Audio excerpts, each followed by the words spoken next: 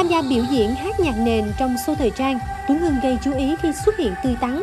Anh có phần biểu diễn sôi động với phần minh họa đáng yêu của con trai Su Hào. Tuấn Hưng tâm sự vẫn chưa bình phục hẳn sau cú sốc bị hủy show ngựa hoang, nhưng sẽ không vì chuyện đó mà cho phép mình gục ngã. Hiện tại nam ca sĩ đang lên kế hoạch tổ chức một show diễn khác trong tháng này để bù đắp cho khán giả. Chiếc xe trông rất ọp ẹp, cũ kỹ và rỉ sét thế này, nhưng không ngờ vẫn đang được sử dụng để đưa đón học sinh tại huyện Y Rai, tỉnh Gia Lai. Thậm chí ghế cũng không còn nguyên vẹn, nhưng tất cả đều được cải hoán. Gỡ chỗ này, đắp chỗ khác, làm sao để chở được nhiều học sinh nhất. Và đây không phải là hình ảnh hiếm gặp trên địa bàn tỉnh Gia Lai.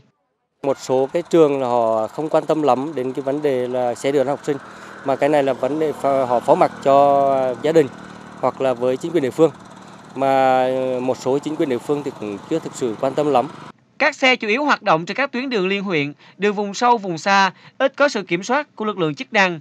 Tuy nhiên, đây lại là những đường nhỏ hẹp quanh co, nhiều khúc cua nên tiềm ẩn nhiều nguy cơ gây tai nạn giao thông. Ngành chức năng đã gửi nhiều thông báo đến các chủ xe nhưng không có phản hồi. Các cơ sở đào tạo là tuyên truyền đến các phụ huynh, đồng thời là cũng làm việc với các ờ, đơn vị kinh doanh ờ, vận tải vận chuyển xe học sinh và về phía sở thông cũng chủ động sẽ kiểm tra. Cùng với đó do nhiều xe đã hoán cải, đổi biển số hoặc thay địa chỉ, gây nhiều khó khăn cho lực lượng chức năng trong công tác quản lý, theo dõi.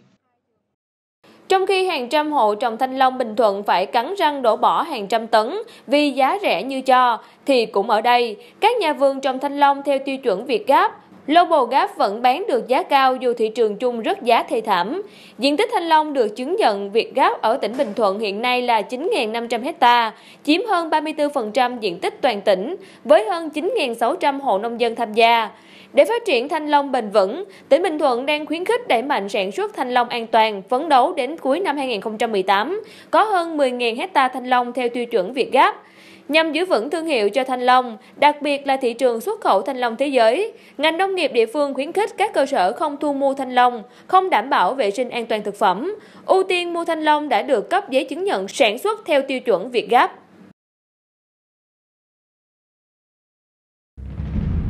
Đoạn clip ghi lại vụ việc xảy ra vào khoảng 9 giờ sáng ngày 15 tháng 10.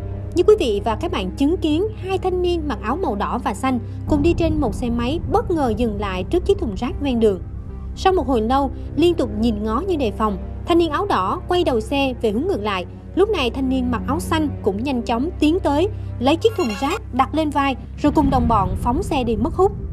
Rất nhiều người sau khi xem clip đã tỏ ra ngạc nhiên trước hành động khó hiểu của hai tên trộm. Không rõ hai người này trộm thùng rác để làm gì.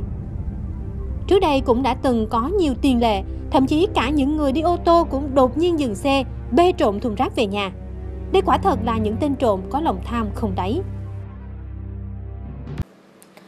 Người thanh niên khai tên Hồ Hoàng Luân sinh năm 1995, cư ngụ xã Hồ Thị Kỷ, huyện Thới Bình, tiến hành mọi gỡ hàng đầy nghi vấn. Lực lượng công an tỉnh Cà Mau phát hiện bên trong có chứa một con dao cán dài và một cây kim loại tự chế có chiều dài khoảng 60cm. Lưu khai nhận cách đây vài ngày, Lưu đã sử dụng mạng Internet và đặt mua hai con dao tự chế trên một trang mạng bán hàng trực tuyến với giá 700.000 đồng. Đến ngày hẹn, trong lúc đang nhận đồ thì bị lực lượng công an phát hiện và mời về làm việc. Hiện vụ việc đang được công an tỉnh Cà Mau điều tra mở rộng. Cả một ngọn đồi đất đỏ rộng khoảng nhiều hecta đã liên tục bị múc lấy đất rất kinh hoàng. Nhiều nơi sâu hóm với những lỗ hổng nham nhở, lỗ chỗ khiến cả ngọn đồi đã bị biến dạng trông chẳng khác như một thung lũng. Người dân nơi đây cho biết các đối tượng khai thác đất hoạt động suốt ngày đêm, rầm rộ nhất là vào ban đêm. Mặc dù chính quyền địa phương xã Suối Cát đã lập biên bản xử lý nhiều trường hợp, nhưng do mức xử phạt quá nhẹ, chỉ 2 triệu đồng cho mỗi trường hợp, nên hành vi khai thác đất trái phép tại đây vẫn liên tục diễn ra.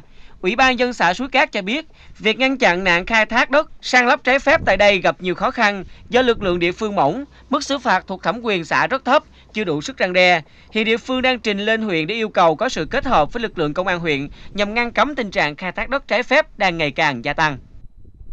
Theo đó, khi tổ tuần tra cảnh sát giao thông công an tỉnh Quảng Bình đang làm nhiệm vụ tại km 705 cộng 700 thuộc địa phận xã Hưng Thủy, huyện Lệ Thủy, tỉnh Quảng Bình thì phát hiện chiếc xe ô tô bán tải mang biển kiểm soát 80 86C09102 màu đỏ cam vi phạm lỗi về tốc độ nên đã đón dừng kiểm tra. Lúc này trên xe có hai người, một người Việt Nam và một người quốc tịch Lào. Các đối tượng đã lấy một lượng lớn tiền mặt để hối lộ tổ công tác nhưng bất thành.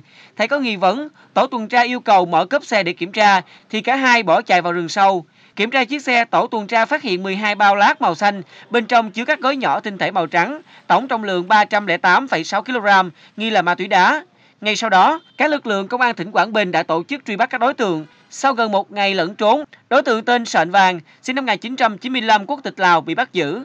Tên này khai được đối tượng đi cùng tên chính người Việt Nam thuê lái xe vận chuyển 308,6 kg ma túy đá từ Hà Tĩnh vào Đà Nẵng để lấy 10.000 đô la Mỹ tiền công. Hiện vụ việc đang được công an tiếp tục điều tra làm rõ.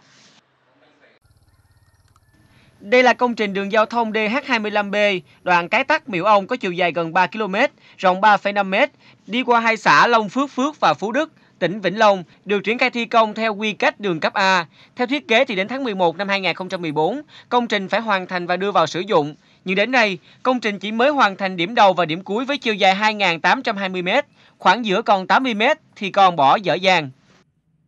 Cái đoạn đường Cái Tắc Miễu Ông này đã làm từ lâu rồi, nhưng mà chỉ còn có 7 87 mét nữa thôi.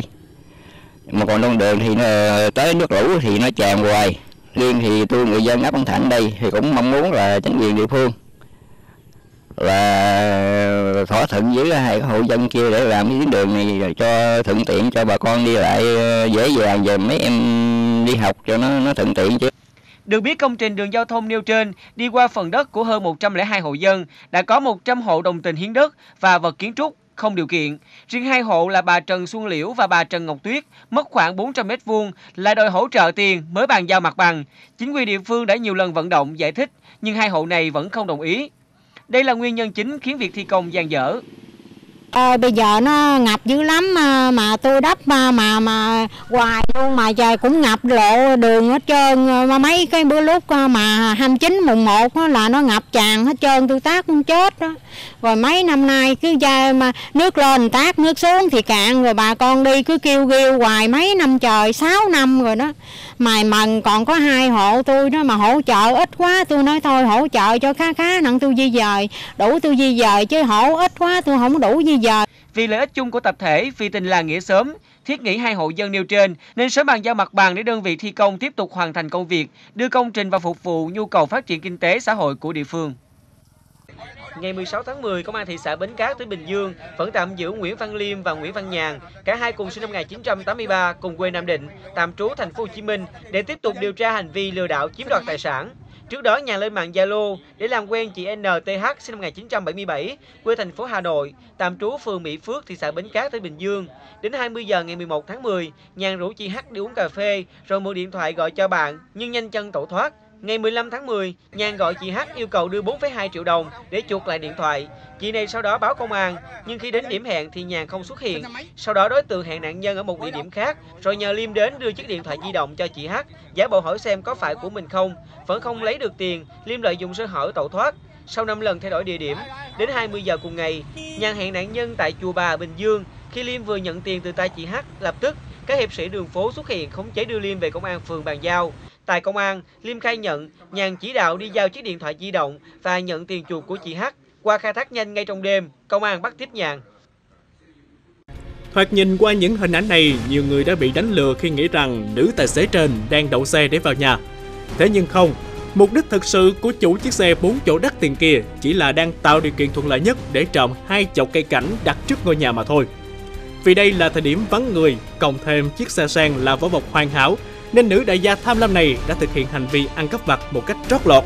Mặc dù vậy, toàn bộ hành vi đáng xấu hổ trên đã được camera an ninh ghi lại. Sự việc vừa xảy ra mới đây tại thành phố Hồ Chí Minh. Thông tin ban đầu vào khoảng 17 giờ ngày 15 tháng 10, xe khách loại 50 chỗ mang biển kiểm soát 51B 09507 chở một người đàn ông điều khiển lưu thông trên đường đại lộ Võ Văn Kiệt hướng từ quận 2 về quận Nhất. Khi chiếc xe vượt qua đoạn giao với đường Ký Con, phường Cầu Ông Lãnh được khoảng 20 m thì bất ngờ đầu xe phát hỏa dữ dội. Phát hiện vụ việc, tài xế đã cố gắng phá cửa cho hành khách trên xe tháo chạy ra ngoài và gọi báo cho lực lượng chức năng tới ứng cứu. Nhận được tin báo, lực lượng cảnh sát phòng cháy chữa cháy quận Nhất đã điều động hai xe chữa cháy chuyên dụng cùng hàng chục cán bộ chiến sĩ tới hiện trường. Ít phút sau đám cháy được dập tắt và may mắn không có thương vong về người. Tại hiện trường chiếc xe hư hỏng nặng phần đầu nằm chắn hết một làn đường khiến giao thông ách tắc. Theo lời của tài xế, nguyên nhân có thể là do chập điện dẫn đến cháy. Nguyễn Phương Khánh sinh ra và lớn lên tại Bến Tre, từng đoạt danh hiệu Á hậu 2 cuộc thi Hoa hậu biển Việt Nam toàn cầu năm 2018.